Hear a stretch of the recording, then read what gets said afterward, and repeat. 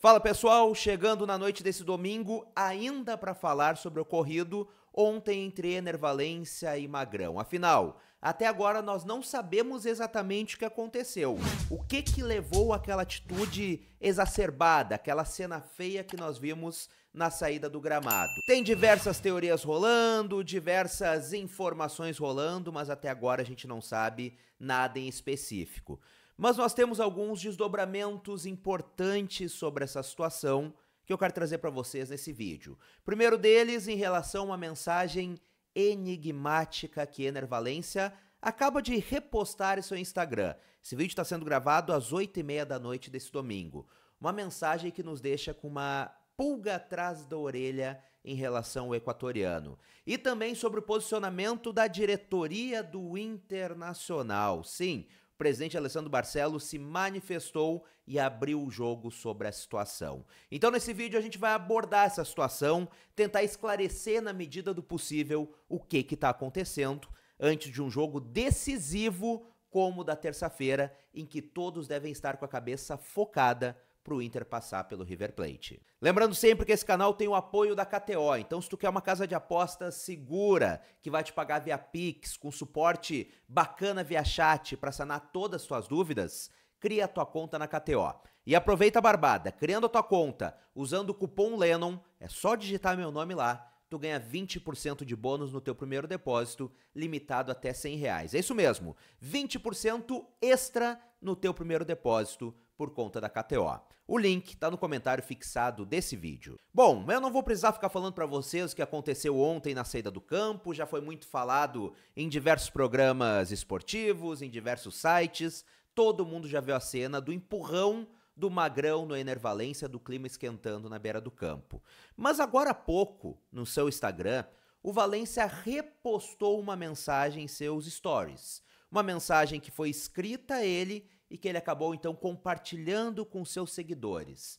Eu tô deixando aí na tela. A mensagem repostada pelo atacante do Inter diz que jogadores equatorianos jogando fora do Equador, jogando no estrangeiro, jogando em outro país, têm que fazer o dobro do esforço para que seu trabalho seja reconhecido. E ainda diz que o Valência é uma pessoa humilde e que se ele teve a reação que teve de empurrar o Magrão é porque algo aconteceu, porque algo ele ouviu. Repito, Ener Valência repostou isso, ou seja, concorda. O atacante do Inter ao repostar então agradeceu e disse que são coisas que passam no futebol coisas que acontecem no futebol. Então, claramente, para o Ener repostar essa mensagem, ele está deixando claro que ele ficou insatisfeito com a situação.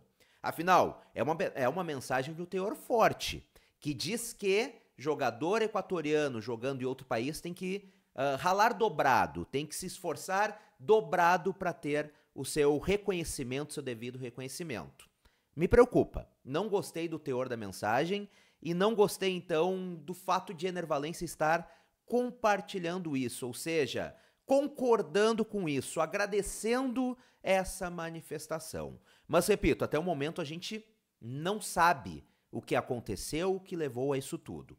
Por outro lado, a diretoria do Internacional se manifestou, o presidente Alessandro Barcelos conversou com Jeremias Werneck, lá de GZH, e disse que conversou com cada uma das partes envolvidas, que conversou com o Luiz Adriano, com o Ener Valência e com Magrão, que foi coisa que acontece em jogo, coisa que acontece no campo e que inclusive o Ener Valência pediu desculpas por mais de uma vez para o Magrão.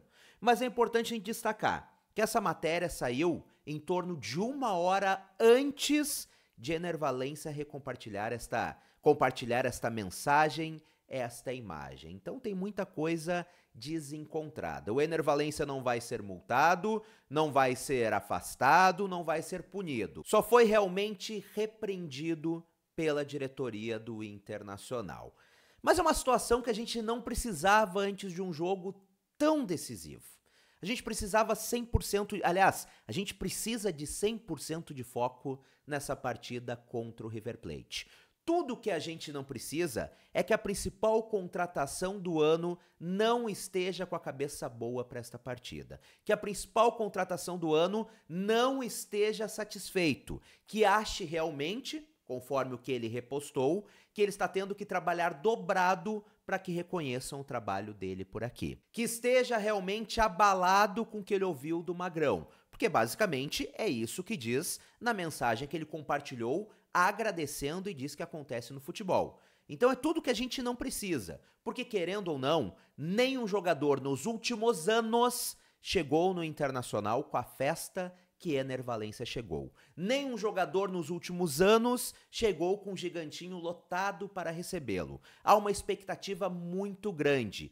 Tudo que a gente não pode é ter Ener Valência neste momento sem cabeça. Principalmente dois dias antes do jogo mais decisivo para o Inter no ano.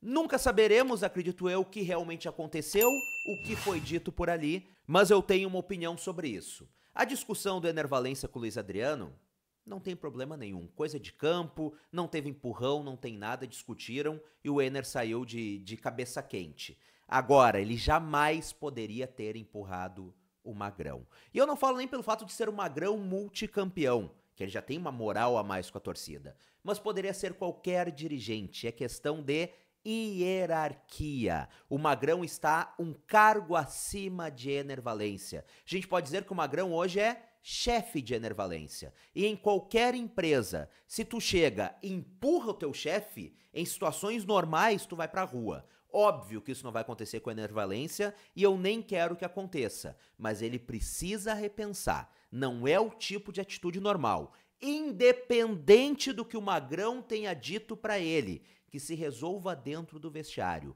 Jamais um jogador de futebol pode empurrar, pode agredir um dirigente abertamente, na frente de toda a torcida, como aconteceu. Foi uma falta de respeito e foi uma falta de respeito à hierarquia. Já defendi o Enervalência demais por aqui, vou seguir defendendo. Para mim é um grande jogador, para mim é um centroavante acima da média, mas a gente tem que ligar um pouquinho o sinal de alerta, porque recém chegou, fez poucas partidas pelo Internacional e esse tipo de atitude dele não foi bacana e não tá sendo bacana. E antes de encerrar o vídeo, eu te convido a comentar aqui embaixo o que tu acha de toda essa situação, o que tu acha dessa publicação do Enervalência, como tu vê toda essa situação. Comenta por aqui e vamos trocar aquela ideia. E caso tu ainda não seja inscrito no canal, clica aqui embaixo em inscrever-se e ativa as notificações no sininho. Um grande abraço, até a próxima e tchau, tchau!